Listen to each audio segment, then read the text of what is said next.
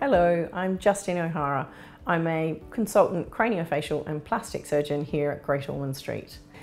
I wanted to talk today about single suture craniosynostosis, which is quite common in society.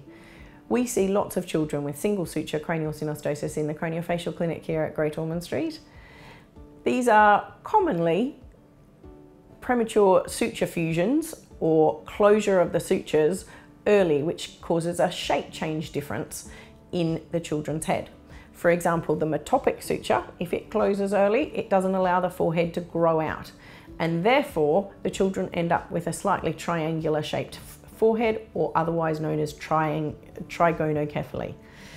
If the sagittal suture, the long one over the top, closes early, the children's head can't grow in width, it has to grow in length. So they end up with a long, narrow head, otherwise known as scaphocephaly. Unicoronal synostosis causes a pinching effect on one side such that the forehead doesn't really grow and the ear gets displaced such that the eye and the brow on that side looks asymmetric. Additionally, lambdoid synostosis, which is quite rare, um, can cause a shape change at the back of the head. We treat all types of craniosynostosis with different operations designed for each different pathology. For unicoronal or metopic synostosis, we use a frontal orbital remodeling.